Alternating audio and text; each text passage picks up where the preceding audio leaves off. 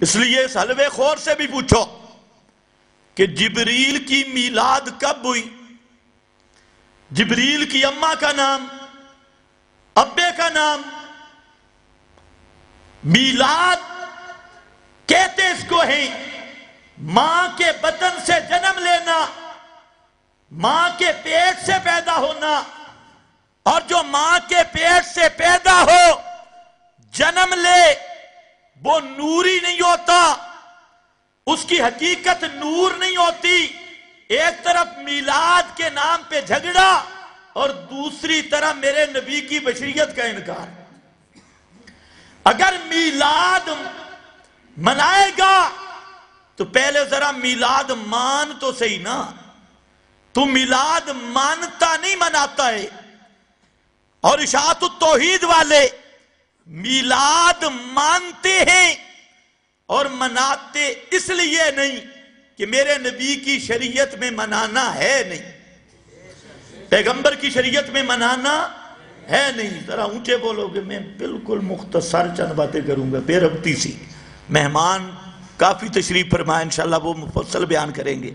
ہمیں تو آپ سنتی رہتے ہیں۔ خیر، بہرحال۔ تو اگر کریم کی میلاد مانتا نہیں، تو پھر منانے والا فرار چھوڑ دے۔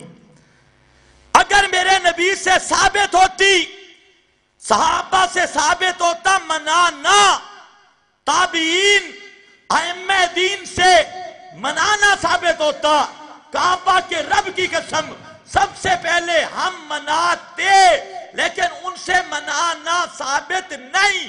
پیغمبر کی شریعت میں منانا نہیں، اس لیے ہماری مجبوری یہ ہے، ہم منا نہیں سکتے۔ البتہ پیغمبر کی شریعت میں ماننا ہے کہ پیغمبر کریم بشر تھے، ماں مبارک کے پیٹ اقدس سے پیدا ہوئے، جنم لیا اور جو پیدا ہو ماں کے پیٹ سے، اس کی حقیقت نور نہیں ہوتی۔ وہ نور من نور اللہ نہیں ہوتا۔ اور وہ جو ماں کے پیٹ سے جنم لے، اپنے جنم اور پیداش میں بھی محتاج، وہ حاجت روا، مشکل کشا نہیں ہوتا۔ اور جو ماں کے پیٹ سے جنم لے، وہ حاضر ناظر بھی نہیں ہوتا۔ نو مہینے ماں کے بدن اقدس کے اندر رہ کے آنے والا، وہ ہر جگہ حاضر ناظر بھی نہیں۔ اور جو ماں کے پیٹ سے پیدا ہوتا ہے، قرآن کہتا ہے، اخرجکم من بطون امہاتکم لا تعلمون شیعہ جو ماں کے پیٹ سے آئے، وہ غیب دان بھی نہیں ہوتا۔ جمی ماکان، ما یکون کا عالم بھی نہیں ہوتا۔ تو میرا بھائی، پہلے میلاد کو مان تو صحیح نا۔ میلاد کہتے کس کو ہے اگر میلاد مانے گا تے پھر نور من نور اللہ کا عقیدہ بھی چھوڑنا پڑے گا۔ حاضر ناظر کا عقیدہ بھی چھوڑنا پڑے گا۔ عالم الغیب ہونے کا عقیدہ بھی چھوڑنا پڑے گا۔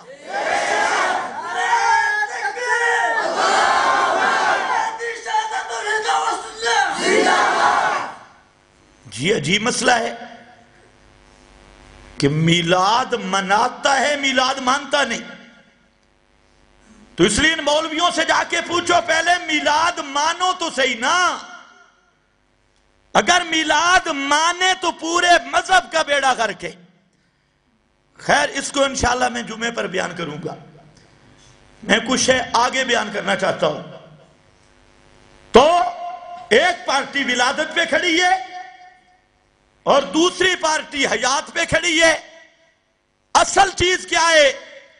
پیارے پیغمبر نے اس کائنات کو آ کر پیغام کیا دیا۔ اور یاد رکھ لو، خدا کی قسم، اگر وہ پیغام سمجھا نہیں یا اس کو تسلیم نہیں کیا، نماز، روزہ، حج زکات ذکر، اذکار، یہ سب برباد ہوں گے۔ اللہ کی ہاں کسی نیکی کی ایک رائی کے دانے کے برابر بھی اہمیت نہیں ہوگی۔ اگر اس مسئلے کو نہیں ماننا امام کائنات نے جس مسئلے کو بیان کیا اور اسی مسئلے کی خاطر مکے کو چھوڑا، اسی مسئلے کی خاطر بلال کو انگاروں پہ لٹایا گیا، زنیرہ کی آنکھوں میں سلاخیں پھیری گئی اسی مسئلے کی خاطر اصحاب پیغمبر کو زبا کیا گیا، ٹکڑے کیا گیا، پیغمبر کریم کو مکہ سے نکالا گیا، بدر بھی عود بھی ہنین بھی حتیٰ کہ فتح مکہ تک اسی مسئلے کی خاطر برسرے پیکار رہے اور صرف مدنی زندگی میں دس سال کے عرصہ میں میرے پیغمبر نے تہتر لڑائیاں لڑی ہے کتنی؟ لڑائیاں لڑی ہے کبھی آپ نے پوچھا وہ مسئلہ کیا تھا؟ میٹھے میٹھے مسئلے سنتے ہو۔ مولوی کو کدھر سے جھوٹ بولتا ہے کوئی کدھر سے کہتے سبحان اللہ۔ اور مولوی سے پوچھ ذرا کہ وہ مسئلہ کیا تھا؟ وہ پیغام مصطفیٰ کیا تھا؟ جس کے مد مقابل مولوی بھی، جس کے مد مقابل پیر بھی، جس کے مد مقابل چودری بھی، جس کے مد مقابل ساری جماعتیں بھی ایک آواز ایک طرف تھی۔ اور ساری کائنات ایک طرف تھی اور جو ہی میرے محبوب نے وہ پیغام شروع کیا، پہلے جو صادق کہا کرتے تھے امین کہا کرتے تھے، اپنے فیصلوں میں جج مانا کرتے تھے اور محمد مصطفیٰ کے ساتھ محبت اور پیار کرتے تھے۔ یار، میں کیوں نہ کہوں، جو میلاد کی خوشی کیا کرتے تھے۔ ابو لاب نے نہیں کی تھی۔ مولوی کی بڑی دلیل ہی وہ ہے۔ ابو لاب نے میلاد منائی۔ تو مولوی تو پوچھو، چندے کر کے یا کچھ آزاد کر کے؟ تو تے ہر چونگی تے کھڑے۔ پن پن کے میلاد بنامنا منگ منگ کے ابو لاب تیرے کولو چنگا رہ گئی ہے۔ اس میلاد منائیے، لونڈی آزاد کیتی۔ لونڈی آزاد کر کے۔ وہ بھی بقول تیرے۔ یہ تحقیق اور ہے کچھ۔ کہ لونڈی آزاد ہوئی کب؟ وہ سویبہ لونڈی کب آزاد ہوئی یہ بھی موریوں کو پتہ نہیں۔ خیر بہرحال تیری مان لیتا ہوں کہ لونڈی آزاد کر کے منائی تے تو کنج مناندہ ہے، چندے کر کے۔ واہ واہ۔ پورا ٹول ٹیکس بنا کے۔ لیکن اس نے لونڈی آزاد کر کے بھی منائی۔ گیا کہاں؟ جنت میں۔ کہاں گیا ابو لاب بھائی میلاد منائی اس نے۔ کہاں گیا؟ جہنم میں۔ جب مولوی شروع کرتا ہے نا، ابو لاب میلاد منائی کہ سبحان اللہ سبحان اللہ سبحان اللہ۔ آگے جب کہتے ہیں نا منائی اور ہے جہنم میں۔ عوام اتنی بدھ ہوئے، پھر بھی نہیں سمجھتی۔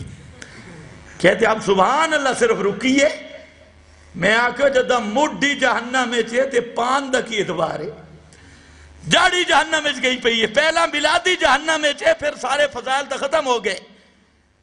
کہتے ہیں صرف انگلی سے پانی نکلتا ہے۔ میں نے کہا، یہ قرآن سے پوچھیں گے۔ ابو لاب کی ہے، جہنم میں انگلی سے پانی نکلتا ہے۔ اللہ نے فرمایا، تبت یدا ابی لاب ابو لاب کے دونوں ہاتھوں پہ خدا کی لانت انگلیاں سارے چونگیاں کے ہاتھوں سے انگلیاں کہاں ہوتی ہیں؟ سر میں یا ہاتھوں میں؟ قرآن تو کہتے ہیں دونوں پہ خدا کی لانت ہے۔ ما اغنا انہو مالہو وما کسب۔ ککھ جتنا بھی اس نے مال کام نہیں دیتا، کام نہیں آیا مال، جو اس نے کمایا ہم مولوی سے پوچھتے ہیں بھئی تو نے کون سا سٹیشن سنا ہے؟ تجھے یہ کس میڈیا نے خبر دی ہے کہ ابو لاب جناب جہنم میں ہے اور اس کی انگلی سے پانی نکلتا ہے؟ یہ انگلی والی خبر یہ کس نیوز نے تجھے دی ہے؟ کس میڈیا دجالی نے تجھے دی ہے کہ انگلی سے پانی نکلتا ہے؟